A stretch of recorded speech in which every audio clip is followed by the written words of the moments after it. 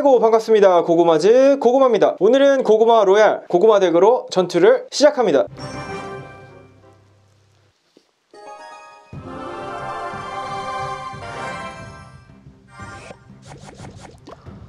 고블린 오두막으로 Hog Rider를 막아줍니다. 지진 지진 굉장히 카운터 덱이죠? 일단은 호그라이더는 방어가 잘 됐습니다 발키리로 엘릭서를 소비해줍니다. 로켓병은 굉장히 까다로운데 제가 엘릭서가 지금 꽉 찼기 때문에 아이고.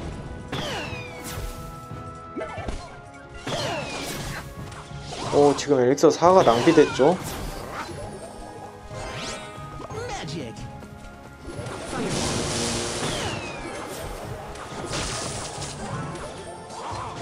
번개가 있습니다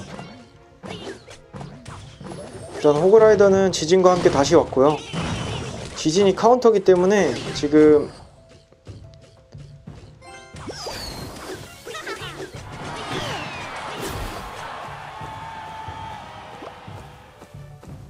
불리한 상황입니다. 로켓병이 다리를 건너오자마자 발키리로 방어를 해주고 감전탑이 있는 분입니다. 이탈리아 분이십니다.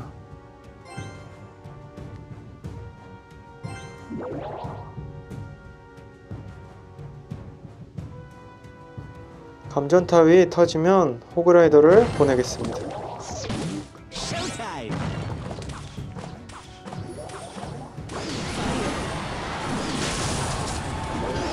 아이고 Mega Knight가 나올 줄은 몰랐습니다. 지금 Hog Rider가 뛰어올 수도 있는 상황이라서 굉장히 불안한데 일단은 Mega Knight를 막는 게 중요하기 때문에 Mega Knight를 막아주고 고블린 오두막을 대기하도록 하겠습니다. 지금 저기 지진이 있는 분이어서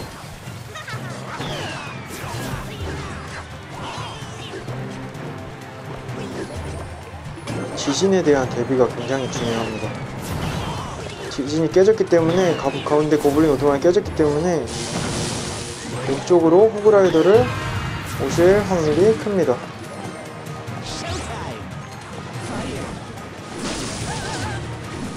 한 대 맞고 깨졌으면 그나마 잘 막은 거죠.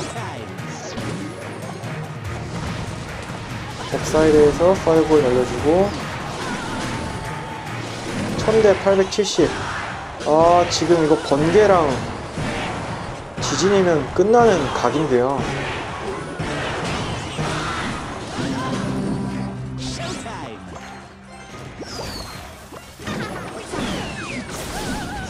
감전탑이 깨지자마자